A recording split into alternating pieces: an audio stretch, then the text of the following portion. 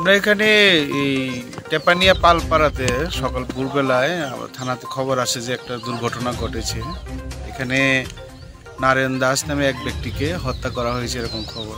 এই খবর এখানে আসি, এসে জানতে পারি যে ওনারই ছোট ভাইয়ের মেয়ের জামাই জ্যোতিষ্ঠির সরকার। তারা একসঙ্গেই ছিল। কোনো একটা কারণে তাদের মধ্যে কিছু একটা হয় এবং তাকে দাও দিয়ে কুবিয়ে অনেকগুলো কূপ মেরে ওই নারায়ণ দাসকে হত্যা করে। ঘটনার ইনফরমেশন পাওয়ার পর এখানে এলাকার মানুষের হেল্প নিয়ে এবং থানার উচিত তৎপরতায় সঙ্গে সঙ্গে ওই আসামিটাকে আমরা গ্রেপ্তার করি এবং সে এখন কাস্টডিতে আছে। একটা থ্রি জিরো টুতে একটা মার্ডার কেসে একটা মামলা হবে। ইনভেস্টিগেশন চলছে। আর স্যার যিনি মারা গেছেন ওনার নামটা স্যার ওনার নাম নারায়ণ দাস।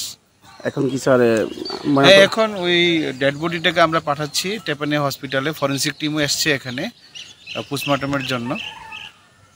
যেটা যেটা আমাদের প্রসিডিউর আছে সেটা করার জন্য।